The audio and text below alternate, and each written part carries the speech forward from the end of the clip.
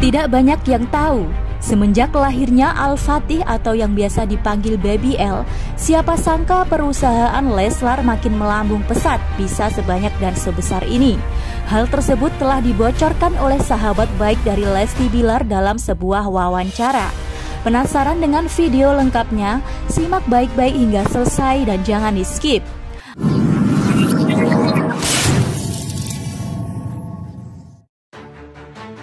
Lahirnya putra pertama dari pasangan selebriti Lesti Kejora dan Rizky Bilar, yaitu Muhammad Leslar Al-Fatih Bilar atau Baby L, nyatanya membawa banyak hal yang positif. Meskipun masih balita, namun sudah menjadi idola baru bagi banyak penggemar. Bahkan pamor Baby L mampu melebihi papa dan bundanya. Jadi tidak heran kalau setiap Lesti dan Bilar muncul di media sosial selalu menanyakan keberadaan Baby L. Dampaknya bukan sekedar menambah banyak penggemar, namun merambah hingga ke pekerjaan keduanya dan salah satunya adalah melambungnya di berbagai perusahaan Leslar. Dalam sebuah podcast yang diunggah di kanal YouTube baru-baru ini, sahabat dekat Lesti Bilar membocorkan terkait berapa banyak dan apa saja perusahaan yang dimiliki oleh Lesti dan Bilar dan seberapa besar peran Baby L di dalamnya. Ya, saya diberikan kesempatan juga sama Lesti dan Bilar untuk melakukan investasi di Leslar Entertainment.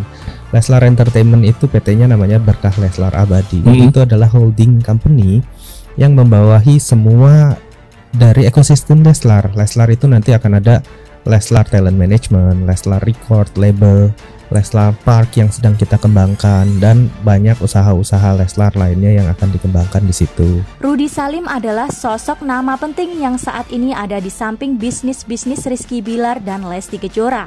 Rudi Salim mengatakan banyak sekali bisnis Lesti dan Bilar yang saat ini dikerjakan bersamanya. Saat disinggung dengan pertanyaan masalah rumah tangga Lesti Bilar, Rudi Salim menjawab dengan sangat bijak dan tak ingin ikut campur dalam rumah tangga orang lain. Urusan Ya, rumah tangga pribadi ya lah ya. lebih baik kita doakan yang terbaik Betul, aja kan. betul. Pada dasarnya mana ada sih orang yang mau ada masalah dalam hidup. Betul. Semua orang juga mau yang baik-baik, tapi ya hidup ini kan nggak ideal, nggak ses- selalu sesuai yang kita mau. Hmm. Jadi ada faktor interupsi, faktor Tak eksternal. hanya itu saja, Rizky Bilar dan Lesti Kejora walaupun tak nampak di televisi, bisnis-bisnis yang dijalaninya sangat luar biasa banyak. Bagaimana dengan pemirsa semua?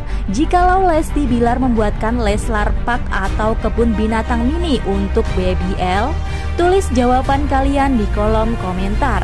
Nah, Kita sekarang berapa hari yang lalu baru melakukan relaunching Leslar Entertainment YouTube channel dengan video pertama itu adalah Message for Al-Fatih untuk anaknya. Itu Hmm. kebetulan jadi trending nomor satu. Oh,